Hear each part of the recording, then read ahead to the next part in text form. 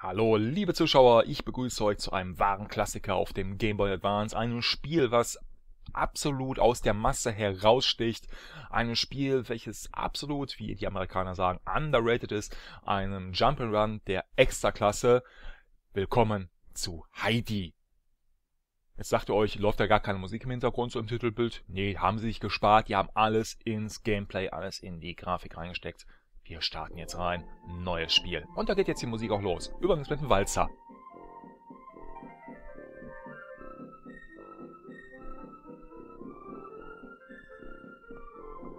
Toll, oder? Also, neues Spiel. Ich habe hier unten schon mal ein bisschen vorgespielt. Es ist genial. Ähm, ja, komm, hier. Name ist egal. Los geht's. Da ist Heidi, da ist der Almöhi und da ist der Ziegenpeter.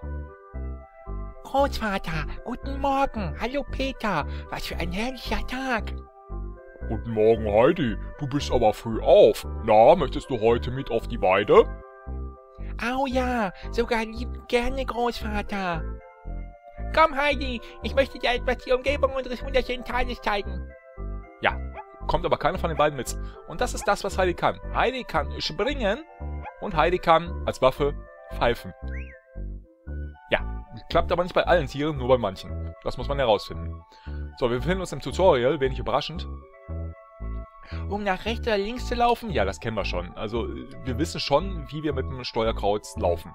Wenn man doppelt anzippt, was gar nicht so einfach ist in dem Spiel, da rennt die gute Heidi und kommt schon direkt nach 10 cm ins Schwitzen.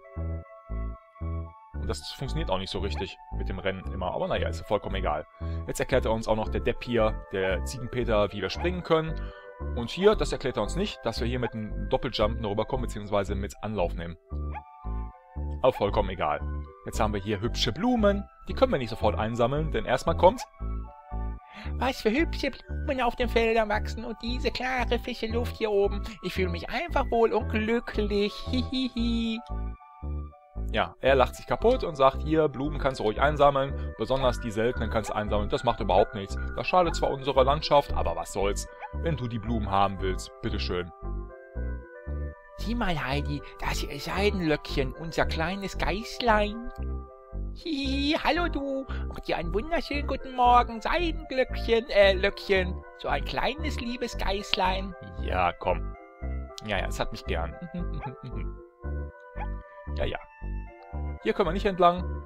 Oho, hier geht es wohl nicht weiter.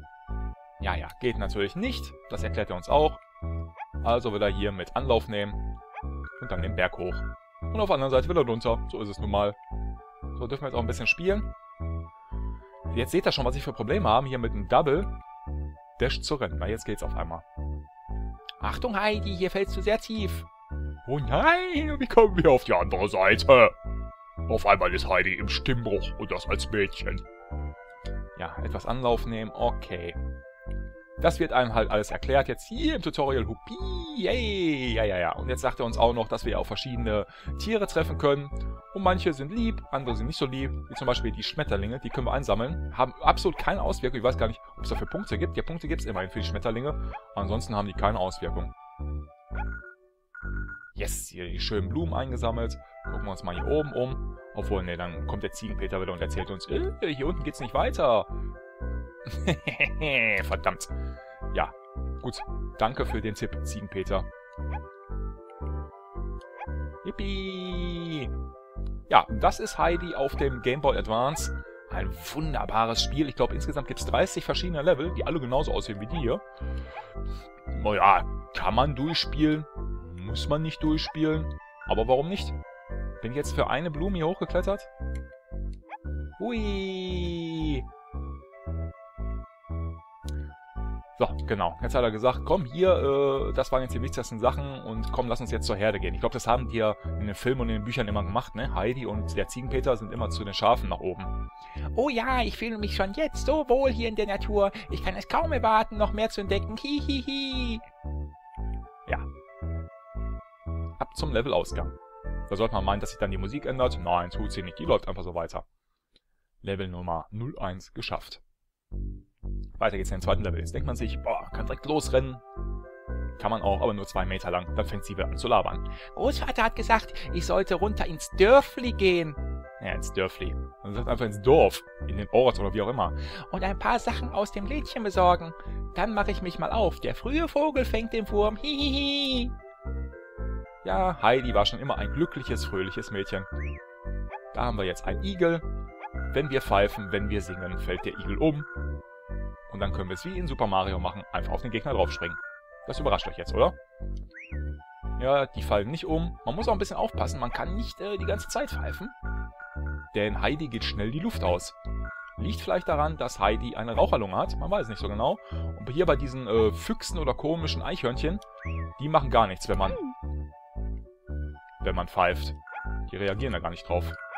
Ah, schnell weg hier. Ist auch vollkommen egal. Also, Eichhörnchen merken wir uns, reagieren nicht. Können aber auch Füchse sein. Ach, diese Musik, herrlich. Na, vielleicht war das ein Fuchs. So, einfach mehr durchrennen. Ja, ich verpasse jetzt natürlich die ganzen Secrets in den Leveln.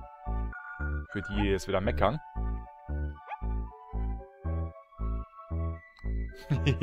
Und da habe ich jetzt übrigens ein Leben verloren. Ne? Seht ihr oben, jetzt habe ich nur noch zwei.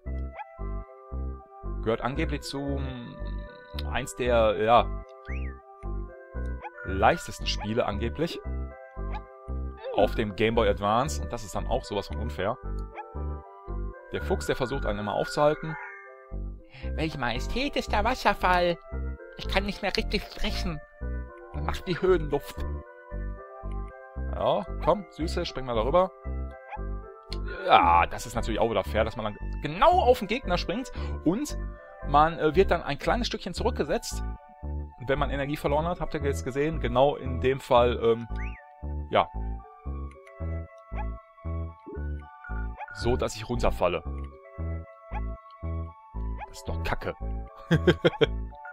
Jetzt werdet ihr vielleicht sagen, nee, das Spiel ist Kacke. Hör auf. Kann doch nicht sein. Uah. Mann, renn. Die Sache rennen, dann renn. Na. Ich werde euch aber noch den dritten Level zeigen können. Ja, da ist der Levelausgang. Ich habe es tatsächlich geschafft, bis in den sechsten Level zu kommen. Ich glaube, jetzt kommt so ein komischer Traumlevel. Nein, zumindest, nee, kommt er nicht. Egal.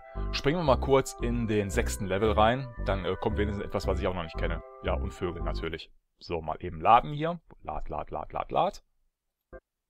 Und dann geht's in den sechsten, nee, sogar in den siebten Level rein. Ist das nicht genial?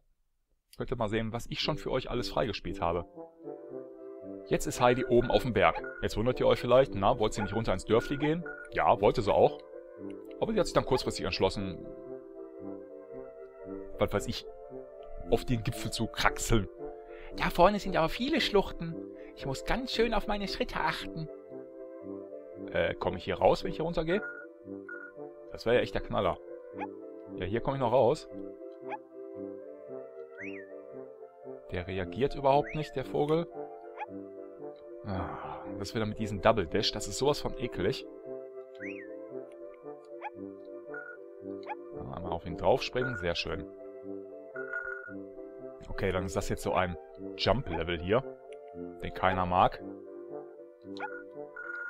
Aber immerhin haben wir hier ein Herz-Pop-Up. Und falls ihr euch fragt, mein Gott,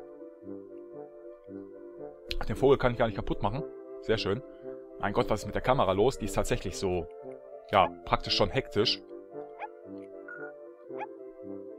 Oh, komm schon, das reicht nicht darunter. Ohne Anlauf. Na gut, dann halt mit Anlauf, was soll's. Ah, Heidi, du sollst rennen. Mensch, du kleine Göre. Mann, und nicht in den Vogel reinrennen. Das weiß doch jedes Kind, dass das nicht gut ist. Ach ja, der reagiert ja wieder nicht. Aber auf den kann ich draufspringen. Boah, das mit der Kamera, das ist echt der Wahnsinn hier. Wie die ruckelt und zuckelt. Also, wie schon gesagt, da hat es sich gelohnt für die Entwickler, oh, wieder ein Leben verloren, auf die Titelmusik zu verzichten. Dafür haben sie alles in die Steuerung, ins Spiel, in die Grafik reingepackt. Immerhin ist der Hintergrund richtig nett. Da kann man nichts sagen. Äh.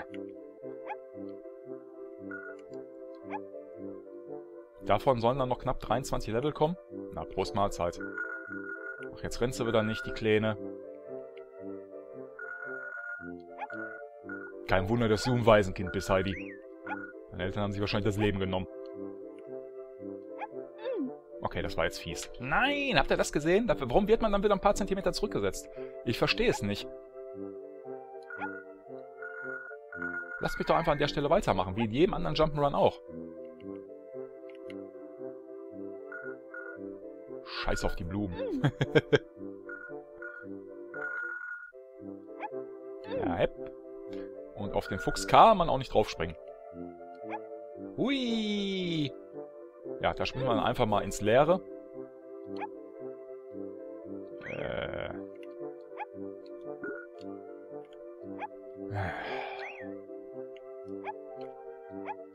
Was ist so schlimm? Wenn das kleine Blach hier keinen Anlauf nimmt. Boah, ein, ein Level aus der Hölle. Ich weiß ehrlich nicht, wer sich gedacht hat, dass das eins der einfachsten Spiele auf dem GBA ist. Wahrscheinlich mit äh, Geduld kommt man hier durch, aber... Boah, nee. Mit der Musik im Hintergrund, mit dieser wackeligen Kamera, das kann doch kein Mensch durchspielen. Aber egal, ich kann auch nicht aufhören, also spielen wir noch ein Level. Ach, das wird einer von diesen Traumleveln.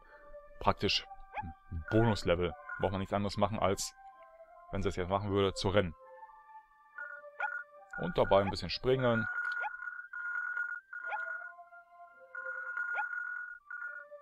Ja, total spannend. Wir rennen einfach von links nach rechts. Hier sind wenigstens keine doofen Tiere. Und wir können gut Bonuspunkte einsammeln. Wir jetzt ein extra Leben bekommen. Sehr schön.